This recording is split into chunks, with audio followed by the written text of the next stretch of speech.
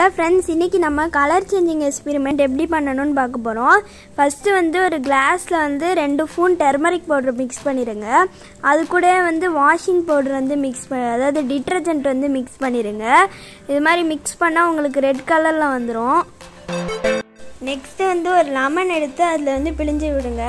அப்படி பண்ணால் அவங்க வந்து அது மறுபடியும் வந்து எல்லோ கலர்லேயே மாறிடும். இது பார்க்க ஒரு மேஜிக் மாதிரியே இருக்கும்.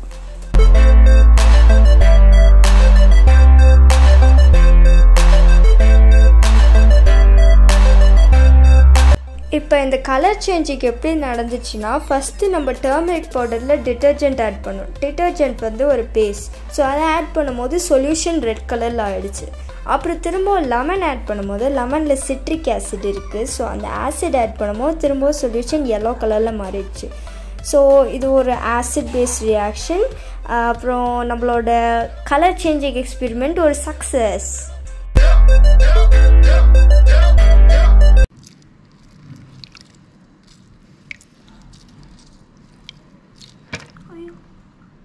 சரி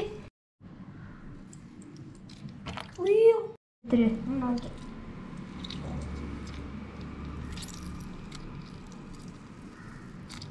இப்போ ரியாக்ஷனை கீழே அந்த டிவிடி எடு.